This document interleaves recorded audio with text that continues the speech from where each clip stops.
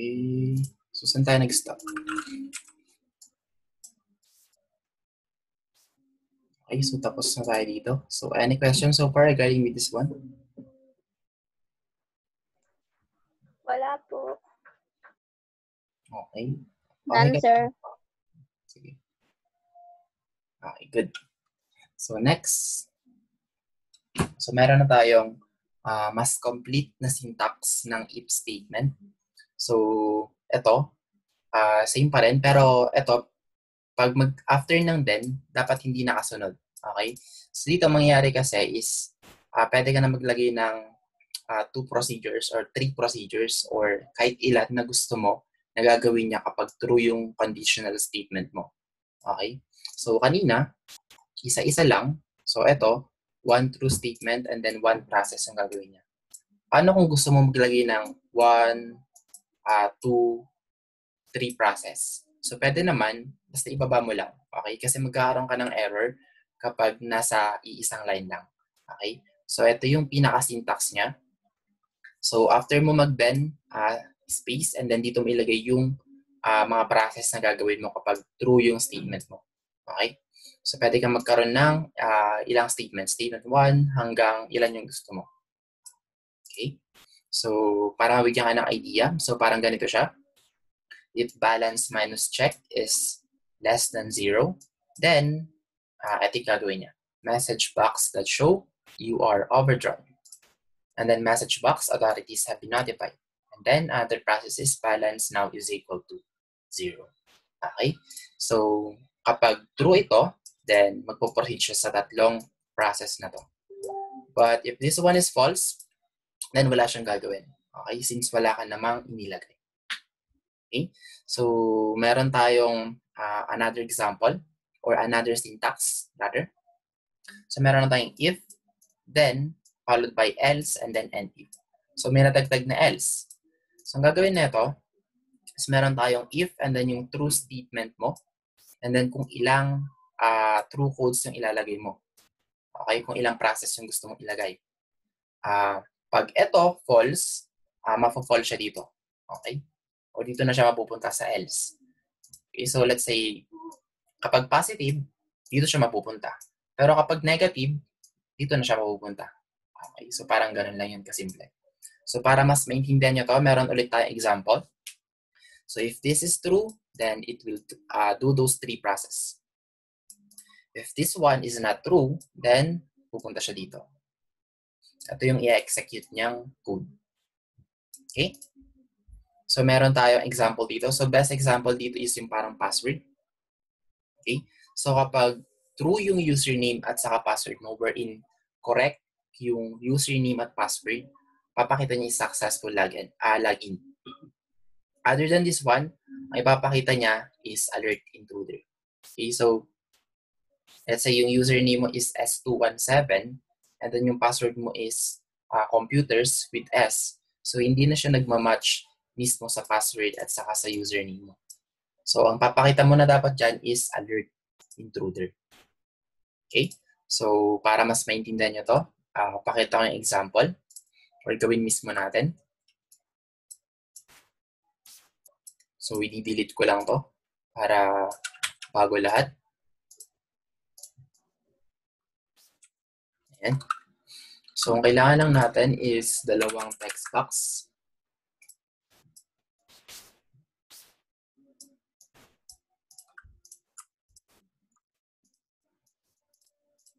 Set ko lang sa multi-line para ma-resize natin.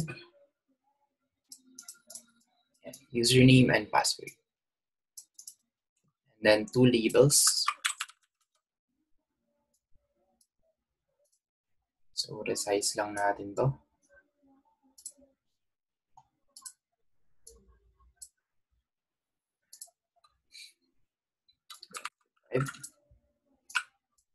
Copy paste.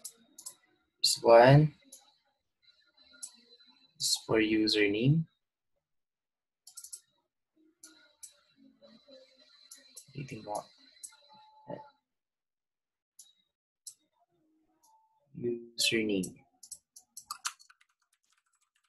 So, feel free to ask kung may mga question kayo. And then password. And then a button para sa login button natin. lang yung size, 25. And then, change natin yung uh, text into login. Okay? So, ang ipo-program natin is yung button mismo, yung login button. So, double-click nyo lang to. And then, ito, pupunta na kayo dito. Okay? So, ang gagawin lang natin is team is equal to uh, para may iba naman, so gagamit ako ng ibang variables instead of A, B, lagi na lang kasing A, B. So user, pwede rin user. And pass as string. Okay? Hindi na to integer since ang kailangang input na natin is strings na. Okay? Or alphabets or words.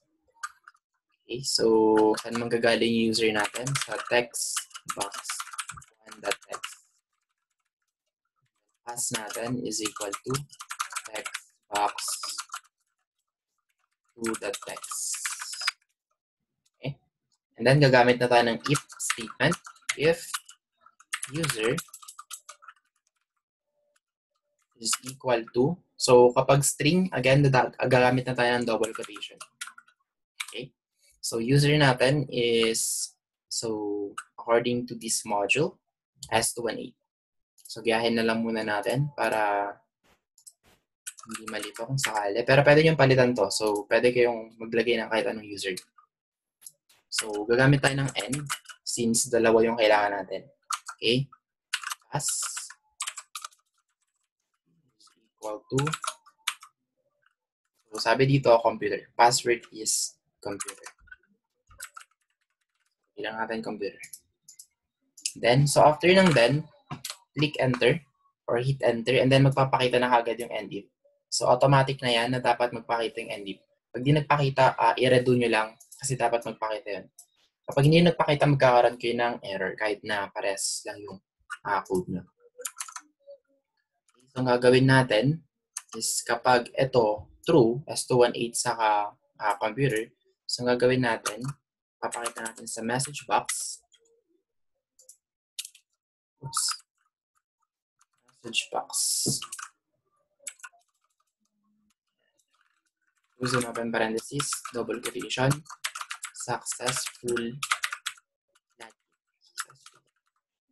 Yan. Okay? So, else, kapag hindi tumama dito. Okay? So, kapag let's say uh, S218 or S217 yung nalagay, tapos computers yung nalagay, so dapat magpo-fall na siya dito.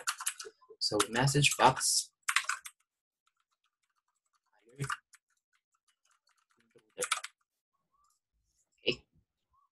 So, yan lang yung code natin para sa sample problem number 6. Okay? So, test natin kung gumagana. Start. So, sa user, dapat S218. Oops, masyadong maliit. Baka di nyo makita. So, change ko lang yung font size. 5. Parang talaga ng error. Gusto niya isa-isa lang. Question kayo so far? May question kayo? Tanong lang kayo. Okay, so test natin. So sa username, S218. Sa password, computer. Okay, so pag clinic ko yung login, dapat magpapakita is successful login. Okay? Ayan. Successful login. Since uh, same na same yung string na nilagay natin. Okay? So, test naman natin kapag iba yung nilagay. Let's say yung password is nalagyan ng S or computers yung nilagay. So, dapat ang magpapakita is alert intruder. Ayan. Alert intruder. Okay? So, yun lang naman so far. Any other question? Sir, pwede ba palakihin yung message box? Hmm, pwede yata, pero alam ko pwede pero hindi ko sure sa ngayon. Pero hindi ko mahanap kasi properties. Eh. Wala kasing properties yung ano. eh. Talagang parang maliit lang siya na message na box. Kung gusto mo naman ng malaki, then ano kaya, gamit ka ng malaking text box din. Sige, assignment ko yun. Kung paano palakihin yung message box. Okay? For now, ganun muna siya kaliit. Baka hindi nyo, oh, ano, baka hindi nyo masyado makita. For now, assignment ko. Okay? Miss Trina? Yes, sir. Uh, other question? How about the others? So, kung papansin niyo dito is naka-asterisk siya. Okay? So, pwede nyo rin gawin yon. Click nyo lang to. So, stop ko muna to. So, click nyo lang to, yung text box mismo kung saan nilalagay yung password. And then, hanapin nyo yung uh, password car or password CHAR, password character. So, by default, walang nakalagay dyan. So, ilagay nyo lang dyan, asterisk. Or kahit anong characters actually. Rin letter A. Okay? So, mangyari niyan kapag nag-type kayo ng mga kahit ano dito sa password na text box, uh, kung ano nilagay nyo doon, yun yung magpapakita. So, user, sample lang to, and then magpa-type na ako. So, yan. Random characters na tinatype ko, pero letter E lang yung nagpapakita. Okay? So, palitan ko na lang since awkward ang letter A.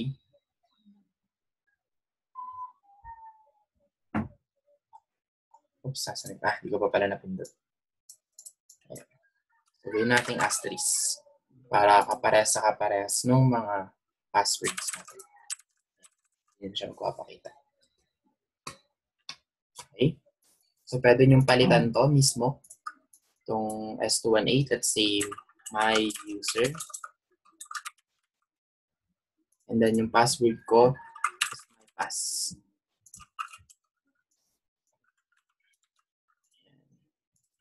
Namula na lahat. Okay? So, username ko na is my user and then password is my pass. So, test natin. My user. And then, dito sa password, my So, dapat successful. Okay? And then, kapag iba yung tinype ko, so dapat alert na ko. Okay? So, so far, yun lang naman. Question? Question? None, sir. Okay, so proceed na tayo. So, ito pala yung code niya. May code na pala siya dito. So, exercise. So, madali lang naman to. Actually, nandyan na yung code. So, write an appropriate if statement for each of the following uh, conditions. So, if an angle is equal to 90 degrees, show the message the angle is right angle. Else, show the message the angle is not right uh, angle. So, in here, kapag yung angle is equal to 90, then message box, the angle is right angle. So other than that, let's say 91, 89, or basta hindi eksaktong 90, magpapakita is the angle is not a right angle. Okay? So medyo similar siya dito sa user and pass natin, pero isang input lang instead of two. Okay? So, uh, skip ko na to since nandiyan naman na yung parang pinaka-code niya ito. If and then end if natin. So another uh, example, if the temperature is above 100 degrees, display the message above the boiling point of water. Okay, so dito naman na yung parang condition. Kapag yung temp mo daw, or say temp variable, is greater than 100, so magpapakita dyan is above the boiling point of water. Okay, so more than 100, above the boiling point. Less than 100, below the boiling point of water. Okay, so gagamit kayo ng message box. Okay, so ganyan lang naman kasimple sa mga exercises na to. So same with this one. So uh, as you can see, supposedly activity nyo na naman ulit to. Actually, tat, apat yata to, lima. 3, 4, 5, 6, 7. Pero since kulang tayo sa oras and then medyo nahihirapan kayo, and then mas maganda sana kasi kung, yun nga, kung nagkaroon kayo ng problema, si gagawin nyo na ngayon, and then nagkaroon kayo ng problema, masasagot ko kagad. And then, yun, para tuloy-tuloy kayo. Pero since hindi ko alam kung nagigets nyo ba or hindi or nahihiya kayo magtanong, so hindi ko alam kung uh, okay ba sa inyo yung pace natin. Mabagal ba or mabilis ba? Parang ganun. So, since uh, medyo kulang na talang tayo sa meeting, actually tatlong meeting na lang natitira. So, this coming Saturday, and then Wednesday, and then Saturday next week. After that, uh, exam nyo na. Exam nyo is August 18. 18 ba? Check natin.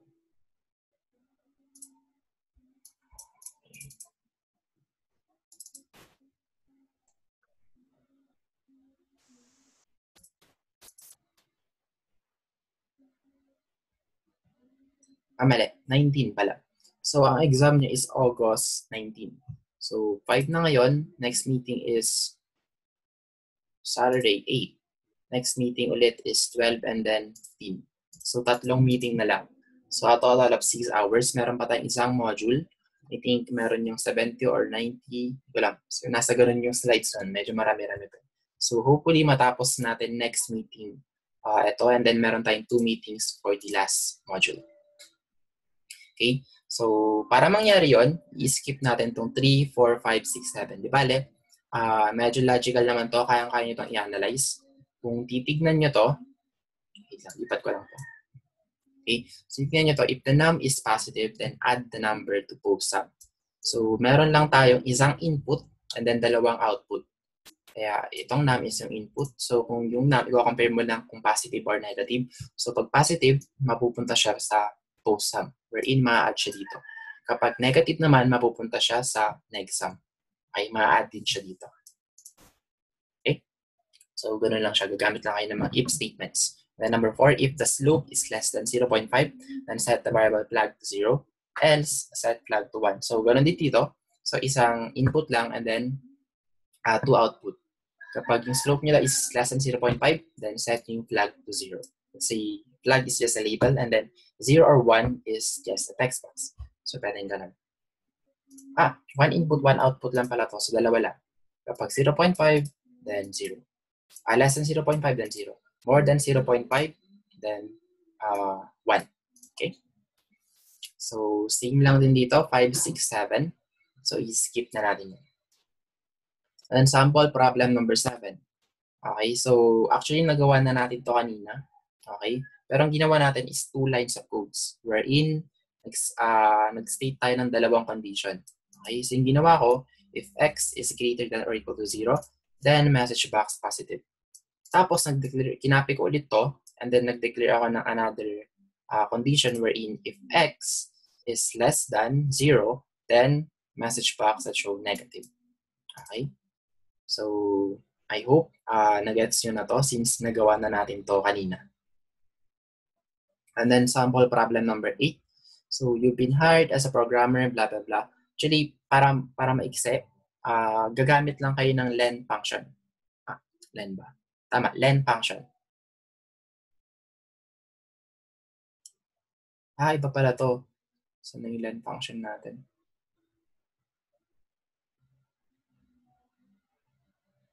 Wala ata dito. Meron tayong isa pa, uh, text message yun, wherein gamit kayo ng len and then i-count nyo yung characters. And then kapag sumobra sa, yun, let's say 50, 50 uh, characters or 50 na alphabets or numbers, babayaran mo na yung susunod. Okay? Pero ito, similar din siya, pero in terms of text message as a whole. So dito, kapag nag-exceed ka ng more than 100 message, 100 messages, So, uh, may bayad na yung susunod na 50 centavos per message. So, dito, naka one, let's say, uh, naka 150 message na siya.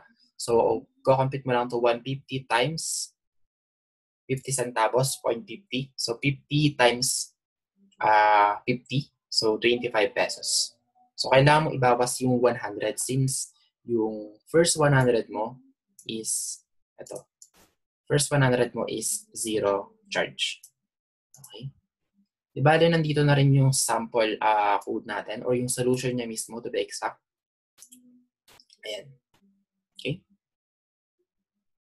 So, another example is sample problem number 9. So, you were hired as a programmer by TNP Telepono.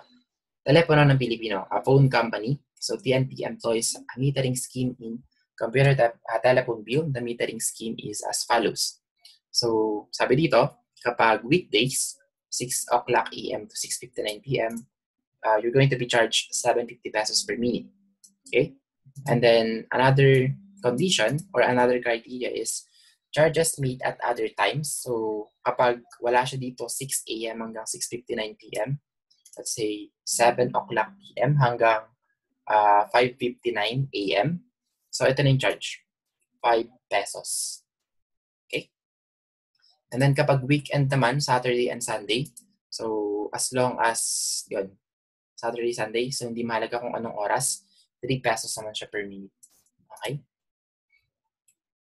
So, continuation pa to. So, your job is to write a program that will ask the user to enter the following information. So, meron kayong input ng date, and then time, and then integer representing the duration of the in minutes. Assume that all calls are rounded to the next minute. For example, a call lasting lasting 2 minutes and 35 seconds is billed as 3-minute call. So, eto, pag uh, lumampas na siya ng, let's say, 2 minute and 1 second, so, ira-round nyo na yun kaagad. Okay, so gagawa kayo ng statement wherein 1 to 59 is magiging uh, 1 minute na siya, equivalent to 1 minute. Wherein dito nga, 2 minutes and 35 seconds, considered as 3-minute call na siya. Okay? And then meron tayong format for date is long. Time is for time, wherein gagamit ka ng date time picker. Okay? So ito na yung sample interface natin.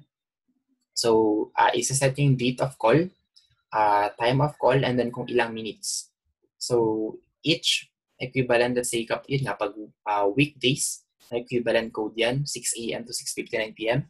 Other than that, kapag uh, wala dun sa time range niyan, uh, 5 pesos in charge. And then, kapag uh, weekends naman, tama, weekends is 3 minutes. Okay? So, ito lang input nyo sa katong mga tatlo pala. And then yung output. Okay? And then ito yung babayaran mo. Okay? So, ito yung sample code. Okay? So, uh, iiwan ko to as your practice activity. Uh, hindi naman siya graded, pero mas maganda kung uh, naintindihan nyo kung paano siya nangyari or paano siya nagawa. And kung ano yung step-by-step process. Okay? Then, another syntax of uh, if statement. So, meron na tayong uh, if, then, saka else, saka and if kanina. So, may nadagdag, which is the else if. Okay? So, kung kanina, uh, ito na yun, meron kang true statement and then pwede kang mag-declare ng napakaraming uh, procedures na gagawin niya kapag true itong statement na to. Ito naman, pwede kang maglagay ng dalawang statement. Okay? Let's say, if, if it's negative or let's say if it's positive, then dito siya maglalay. And then if it's negative, then dito naman. But how about if it's not uh, negative and then it's not positive then? So, dito naman siya mapupunta. Okay? Or another example is, kung na lang. So, kapag boy ka, let's say if you're a boy, then dito yung i-execute yung code. Kapag girl ka naman, kapag babae ka, ito yung i-execute yung code. Other than that, let's say, hindi ka babae, hindi ka rin lalaki, so i-execute yung code is ito. Okay? Kahit na alien ka pa, kahit na, uh, let's say, wala kang kasarian, hindi ka babae, hindi ka rin lalaki, hindi ka rin tomboy, hindi ka rin bakla. So, dito ka mag-fall. So, parang ito yung parang kahit anong mangyari, pag wala siya dito sa mga following statements natin or mga conditional statement, dito siya mag-fall. Okay? So, madalas, ginagawa ito ng mga programmer para kapag, let's say, out of bounds na yung sagot, uh, dito sila maglalagay ng code. Wherein, uh, say, none of the above is chosen, parang gano'n, masakali. Para maiwasan yung error, lalagay sila ng else. Wherein, uh, dito mang magpo lahat ng hindi tumama dun sa code mo. Okay? Or hindi true sa code mo. Okay? Any questions so far?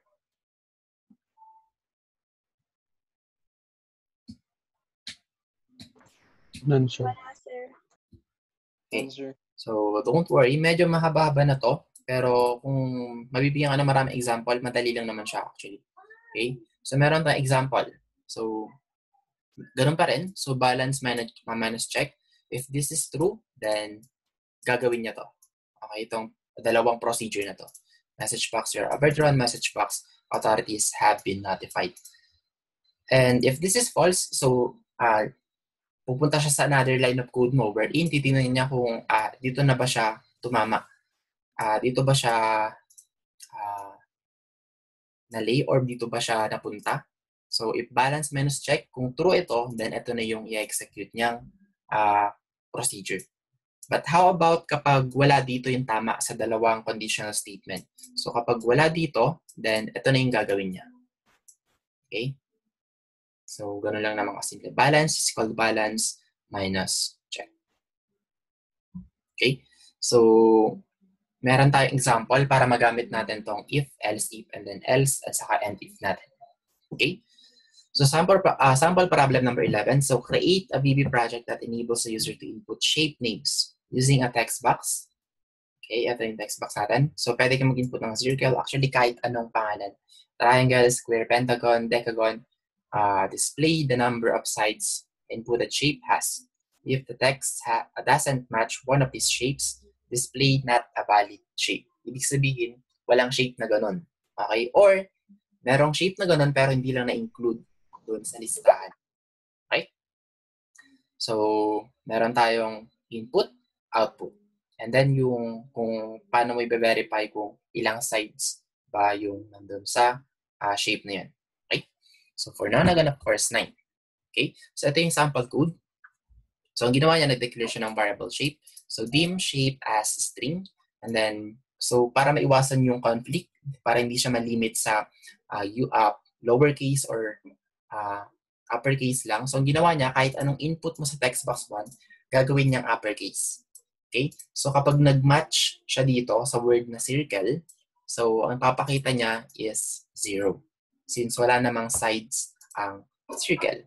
So, kung nilagay mo dito, circles, C-I-R-C-L-E-S, so may S. So, actually, mapafall lang siya dito sa invalid input, uh, inputted shape. Since wala namang uh, nakamatch dito sa uh, conditional statement natin na circles. Ang meron lang is circle. Okay? So, same with the triangle. So, dapat eksaktong-eksaktong word yung uh, nandun. Okay? So, dapat mag-match sa word na triangle. So, wala naman sigurong word na triangles or circles. So, meron siguro, pero sa ibang cases niyan. So, dito, hindi ka naman siguro maglalagay ng triangles, squares, rectangles. Do pwede kapag marami kang tinutukoy. Pero dito, of course, one shape lang yung tinutukoy. Okay? So, for triangle, uh, three sides. Square or rectangle, dapat four sides. Then pentagon is five. So, anong next sa pentagon? Hexagon, six. Uh, anong seven? Hexagon, Octagon is 8. Nonagon is 9. Decagon is 10. Anong 7?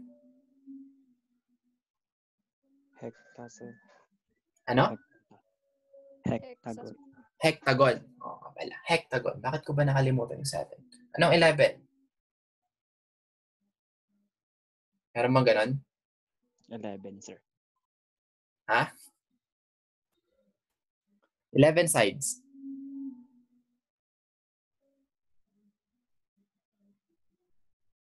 Ito, good. Nagsasearch itong mga to. Ano kaya mga 11 sides? Anyway, meron yan for sure. Pero hindi ko lang alam yung pangalan. But for 10, it's decagon. Okay? So kapag wala dyan, let's say nag-input ka ng 15 sides pala, okay, so dito na siya mapupunta kung wala siya sa listahan. So, message box, invalid, inputted. Okay? So, we have another one. O, meron pala to. Undecagon. Undecagon pala sa 11. Tama ba? Duodecagon. Ano to? 12? Anyway, parang ganun. Okay? So, we have another one. So, sample, uh, sample problem number 11B. So, revise the problem number 11 such that the user choose. So, instead of typing, meron na tayong pagpipilian. So, gamit ka lang ng radio button. Okay? So, gumamit siya ng group box. And then, sa loob ng group box, may mga radio buttons. And then, yung output natin. Okay? So, octagon, of course, 8. So, ito yung sample code natin. So, if this is true, kapag na-checkan mismo yung uh, ito, radio button na yun, then papakita niya lang sa text box yung value na to. So 0 for uh, circle. Tama. So 11 sides nga yung ito. 1, 2, 3, 4, 5, 6, 7, 8, 9, 10. Okay. Yung decagon. Then, duodecagon. So sabi dito, other than those, let's say, pumili ka ng kahit ano dyan, tapos duodecagon. So magpapati dyan is 12. So pwede nyo rin gamitin to for last statement. Since ito na yung pinaka-last. Since nakalimit naman siya sa isang pagpipilian. Okay? So itutuloy natin yung susunod mamaya since I think 20 seconds na lang natitira. So yung may mga question, tanongin nyo na lang ako sa messenger. Okay, so 5 minutes break ulit since i-convert na ulit yung video.